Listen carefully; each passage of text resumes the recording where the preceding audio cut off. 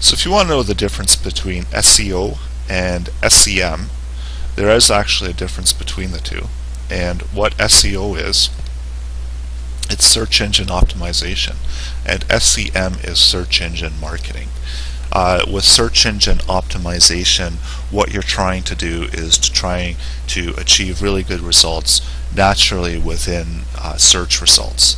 And search engine marketing is an overall encompassing uh, marketing effort on search engines. So it can also include things like pay-per-click um, and other paid paid options. And so you get that with search engine marketing.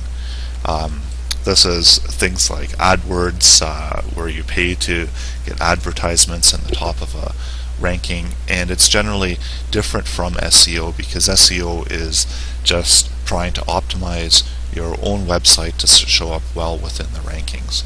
Uh, the, the other difference between when you're coming in for doing marketing between pay-per-click and SEO, uh, with pay-per-click, if you have a graph there, with pay-per-click you're able to achieve uh, traffic right away. So you can, depending on how much your budget is, um, you're able to get that that traffic going instantly to your website.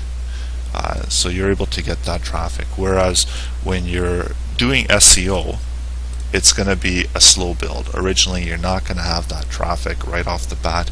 You're going to investing a lot of time and effort into trying to get that traffic to your website.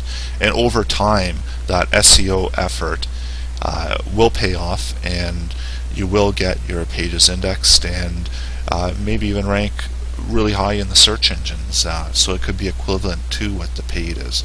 So this is a way to kind of an ongoing effort and uh, there is a point where uh, your SEO could be even more beneficial than your paid traffic.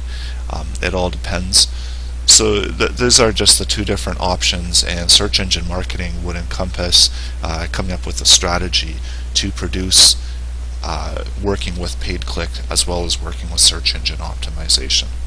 So that is the difference between SEO and SEM.